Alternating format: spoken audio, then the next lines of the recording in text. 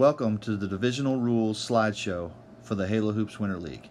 These game rules are what set Halo Hoops apart from other youth leagues. They are designed to help each player grow in the game of basketball progressively according to their age and skill level.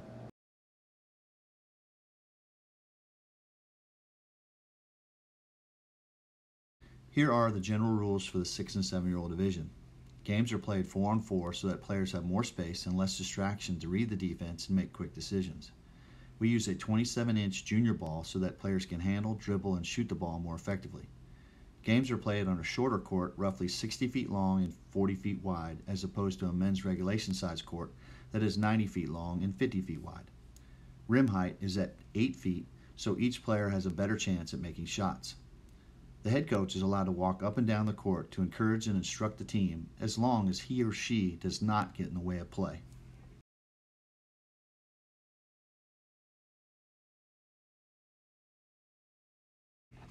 Here are the time rules for the 6 and 7 year old division. Each game is played with four 10 minute quarters. The game clock is a running clock and does not stop even when the ref blows his whistle.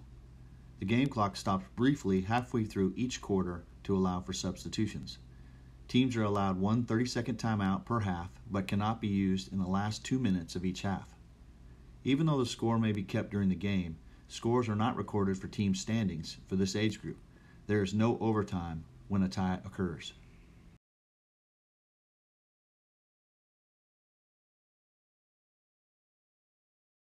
Here are the offensive rules for the 6 and 7 year old division.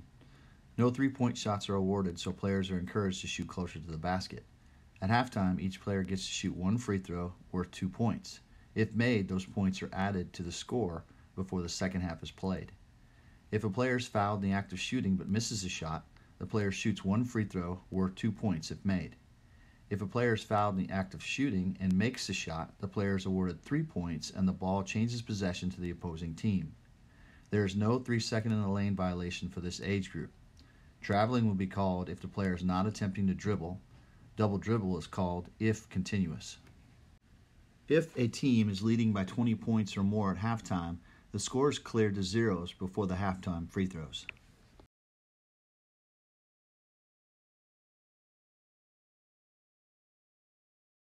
Here are the defensive rules for the 6 and 7 year old division. Players are required to play man to man defense only. No double teaming or trapping is allowed. No pressing is allowed, so players must fall back to half court to play defense.